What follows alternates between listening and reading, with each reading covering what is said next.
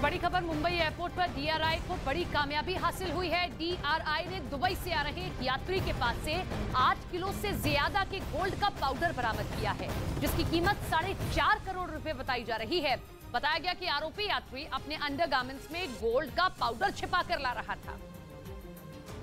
इधर पाकिस्तान के कई सांसदों पर बड़ी कार्रवाई की गई। संपत्ति का ब्यौरा न देने पर वहाँ के चुनाव आयोग ने 271 सांसदों और विधायकों को निलंबित कर दिया।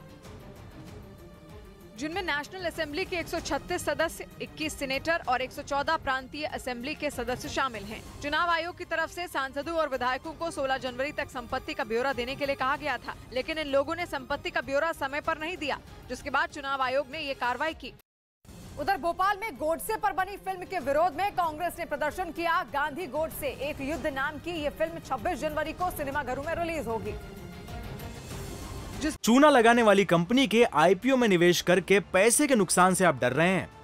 बेस्ट आईपीओ निवेश करना चाहते हैं? फ्रीडम ऐप को डाउनलोड करें, आईपीओ निवेश में एक्सपर्ट बने।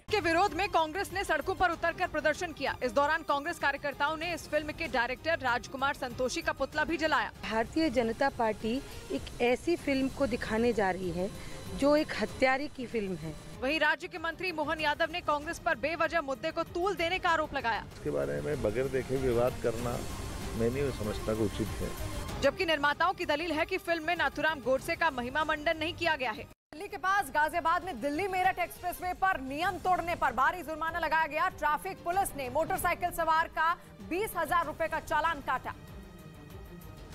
क्योंकि दिल्ली मेरठ एक्सप्रेसवे पर दो पहिया तिपहिया और ट्रैक्टर ट्रॉली की एंट्री बैन है जिसके लिए बकायदा नो एंट्री वाले साइन लगे हैं। इसके बावजूद कई लोग नियम मानने को तैयार नहीं दिखे। एंट्री का चलान किया जा रहा है और नो एंट्री का चलान बीस हज़ार रूपए का है। ट्रैफ़िक पुलिस करीब 2600 दो पहिया वाहनों के चालान काट चुकी है।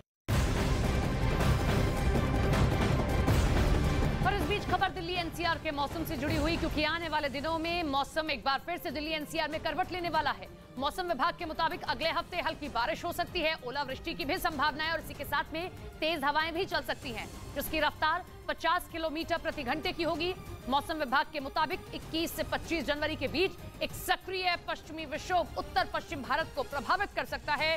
इसकी वजह से हिमालयी क्षेत्र में 21 जनवरी को बारिश या बर्फबारी शुरू होने का अनुमान है तो वहीं 23 और 24 जनवरी को दिल्ली, जम्मू कश्मीर, हिमाचल प्रदेश, उत्तराखंड, पंजाब, हरियाणा, उत्तर प्रदेश और उत्तरी राजस्थान में अलग अलग जगहों पर ओलावृष्टि का अनुमान ज़ाहिर किया गया है। और इधर जोशीमठ के बाद उत्तराखंड के कर्णप्रयाग में भी कई मकानों में दरारें आने से लोग दहशत में आ गए। बताया जा रहा है कि वहाँ के एक इलाके में उनहत्तर परिवारों पर मकान गिरने का खतरा मंडरा रहा है। ऐसे में आठ परिवारों को दूसरी जगहों पर शिफ्ट किया जा चुका है। क्योंकि कर्णप्रयाग में भी कई मकानों में दरारें पड़ गई हैं। वहाँ से जो तस्वीरें सामने आई, उनमें कई लोगों के मकानों की दीवारों से लेकर छतों पर काफ़ी लंबी और चौड़ी दरारें देखने को मिली, जिससे लोगों में दहशत पैदा हो गई। उन्होंने इसके लिए वहाँ के ड्रेनेज सिस्टम और इलाके के नीचे की तरफ़ बनाई गई सब्ज़ी मंडी को कसूरवार ठहराया।